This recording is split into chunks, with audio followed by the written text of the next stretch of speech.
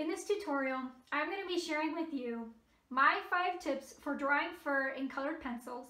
I'm going to be demonstrating them in a step-by-step -step basis. There's a lot of value in the content that I have to offer and hopefully it will help you in drawing those cute little furry animals. Be sure to stick around until the end for my two bonus tips.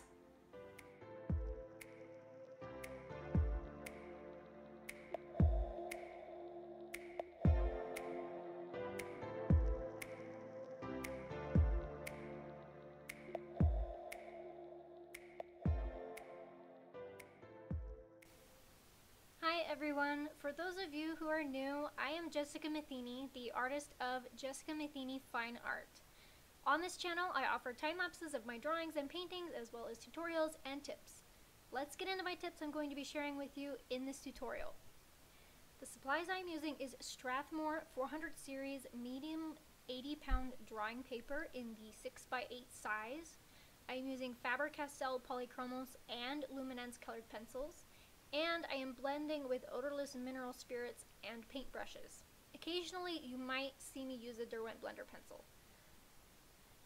My first tip is to sketch in major fur details. This is especially going to help you if you are drawing long fur that looks more like hair. Don't have to sketch in everything, just what you think is enough so that you can judge where to fill in the other details later and not get lost in it. Drawing curly locks of hair or fur can be very easy to get lost in if you are going for realism.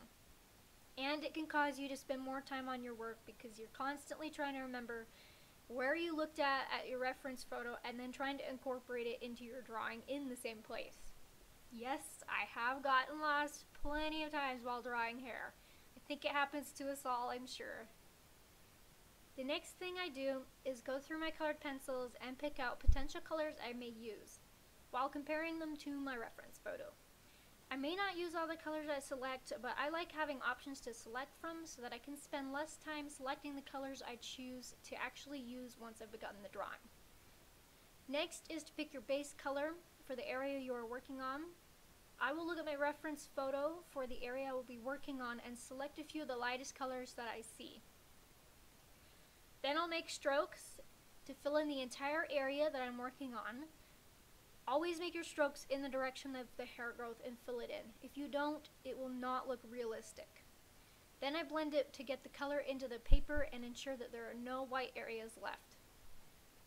One of the most important things you can study about fur or hair is that they tend to clump together. If you draw hair spiraling out in all directions, that will never look realistic fur on animals does not grow that way.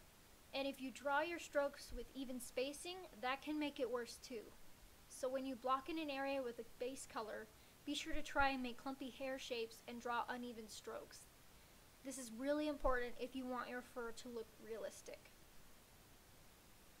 After blending the base color and making sure it is dry first if I'm using mineral spirits, I will add darker colors over the base color making it just slightly darker each time.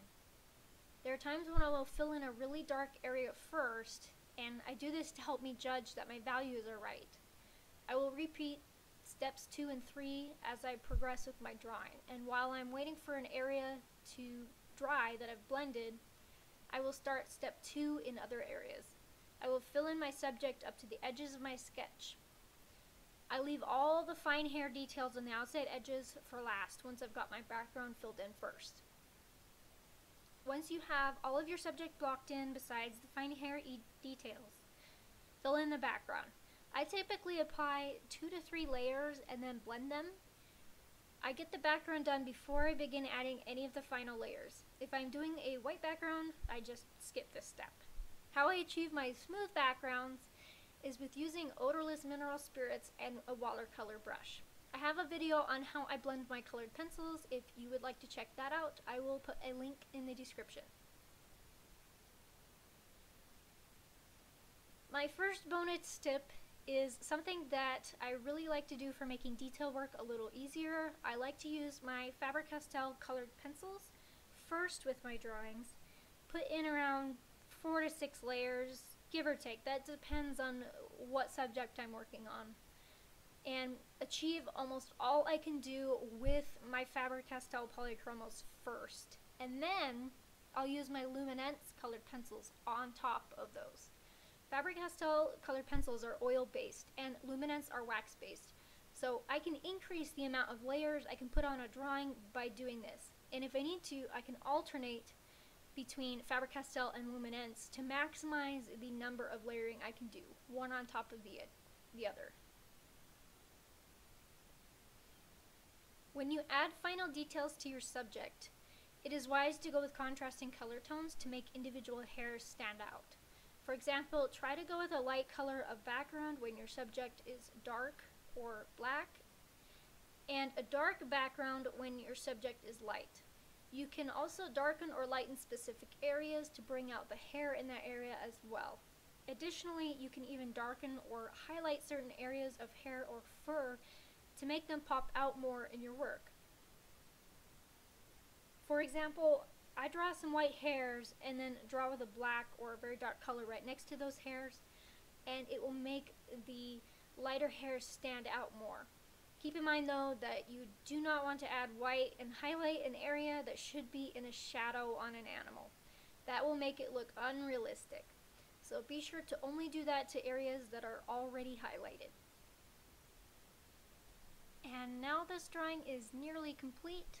I am going to be adding in those final detail layers in just a bit. If you have any questions about how I draw fur that I may not have covered in this video, feel free to just comment and ask.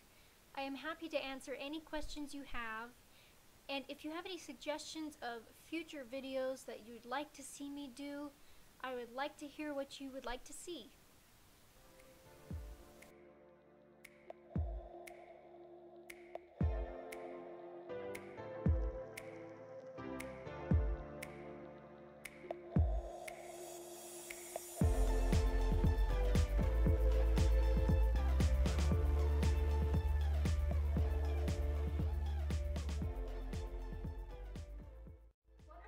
Your tips for drawing fur?